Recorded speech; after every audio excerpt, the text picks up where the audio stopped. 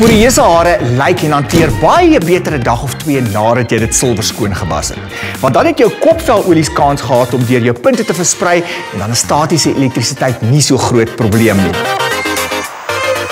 Silk finishing spray is 'n kragtige aanspuitbevochtiger wat bonus doen om jou hare sagter te maak en om daai statiese elektrisiteit te tem, veral hierso oor jou haarlyn waar die weeskinders nie altyd hulle self kan gedra nie. As onweer op pad is en jy die tipe hare wat maklik kroes, dan het jy 'n gladblaas hulpmiddel nodig. So 'n paar druppels blou stryd lotion wat 'n kragtige krulverslapper en kroestemmer is, gaan jou help om jou hare baie makliker glad en reguit te blaas. Take it to the